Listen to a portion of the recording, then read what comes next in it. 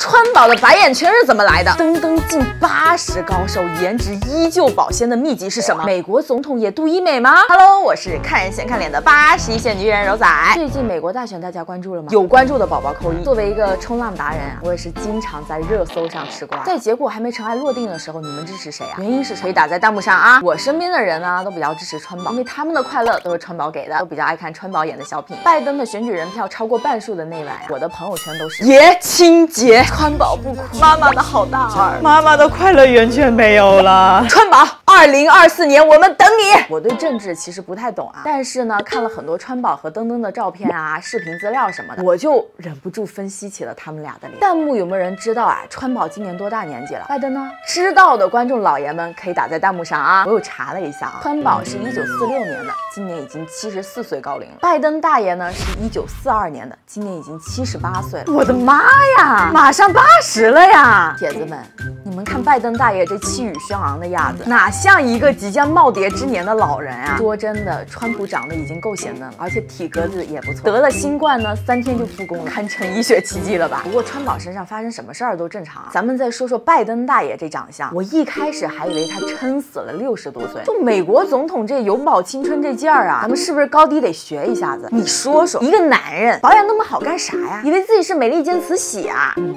开个玩笑啊，保护保护。今天我就来扒一扒川宝和登登为了颜值保鲜，在抗老上都做了哪些努力。感兴趣的观众老爷们就接着看下去吧。祝一键三连的铁子们到了八十岁都能拥有登登的冻龄和川宝的活力。有一说一啊，咱们很多年轻人现在二十多岁就已经没有川宝那种活力了吧？先说拜登啊，拜登大爷做过的项目还真不少。对比一下他前些年的照片，我们不难发现，登登的抬头纹消失了，面部都变紧致了，这就是除皱针的效果了。除皱针打的其其实就是肉毒素，在咱们国内做医美啊，除皱一般是按部位收费的。抬头纹、眉间纹、眼尾纹、鼻背纹，拜登大爷改善的最显著的就是抬头纹了，看来是真没少打。在咱们国内打肉毒素一般有两个品牌，国产的兰州恒力和进口的宝妥适。价格上，恒力比宝妥适便宜；效果上呢，恒力的弥散半径啊。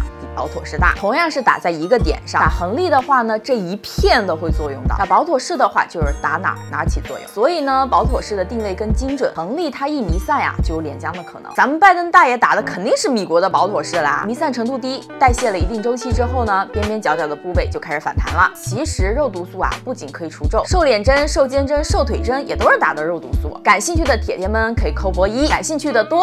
我改天可以展开来讲一讲。接着再来说说登登的发量，别看咱们登登子的发际线比咱们普普子高这么多，但是咱们登登的头发也是花了大价钱镀的。来看一下登登子年轻时候的照片，想当年的雄脱就非常严重，也是个老脱发选手了。这小登呢，要是长在我国呀，肯定早就被电梯里的植发广告种草了呀，哪还用等到头发花白了才开始植发呀？植发呢，一般就是取后脑勺的毛囊，头顶秃就种在头顶上，发际线秃就种在发际线上。想必我登的后脑勺毛囊也是数量堪忧。就只能种在这十万火急的头顶。关于植发、生发，感兴趣的家人们呢，扣个二。问得多的话呢，我也可以找机会唠一唠呀。最后就是登登的牙牙了，洁白整齐，堪称米国老年版陈伟霆。其实我们登的牙呀，一直就不差，但是基于对完美的追求，登登做了贴面或者牙冠，不管是哪一个呀，登登这起码八颗上排牙，绝对是一笔巨款了。男人就要对自己狠一点，人不狠。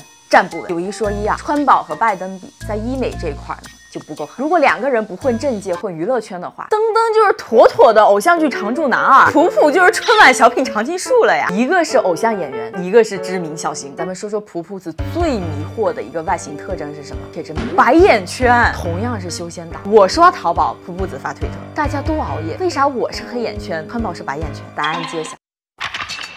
川宝做了美黑了，美黑灯考的时候啊，会戴这么一个小护目镜，防止刺伤眼睛。咱们川宝呢这一圈白眼圈啊，恰好就在小护目镜的覆盖之下，一切都解释得通了吧？今天讲了除皱针、植发、牙贴面、美黑这四个项目，大家对哪个最感兴趣呢？或者你还有什么好奇的医美项目吗？可以在弹幕上打出来。如果你想更深入的了解国际名人都做过哪些医美项目，那就点个关注啦。私信告诉我你最好奇谁的医美，明星也 OK 啊。如果大家对这个话题感兴趣的话，会。继续出视频的，好啦，我是看人先看脸的八十一线女人柔仔，下期见，拜拜。